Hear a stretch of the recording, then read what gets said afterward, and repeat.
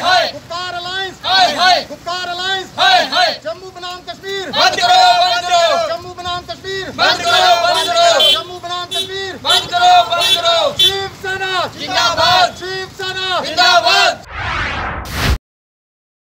शिवसेना बाला साहब ठाकरे जम्मू कश्मीर इकाई का आज जो हमने यहाँ पर प्रदर्शन किया है, वो गुप्कार अलायंस जो अपनी राजनीतिक रोटियाँ सेकने में लगी हुई है, धारा 370 और 35 ए को लेकर, उसके खिलाफ है। वहीं भाजपा की केंद्र और जम्मू कश्मीर के नेताओं की मौन और चुप्पी के खिलाफ भी आज हम यहाँ पर प्रदर्शन कर रहे हैं। देखिए, धारा 370 और 35 ए अब इतिहास बन चुका है।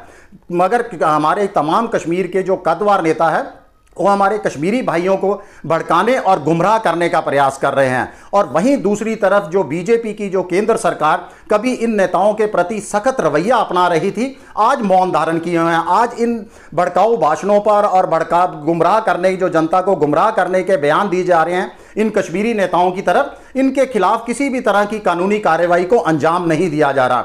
असल में ऐसा आभास हो रहा है कि एक बार फिर जम्मू बनाम कश्मीर की राजनीति खेली जा रही है।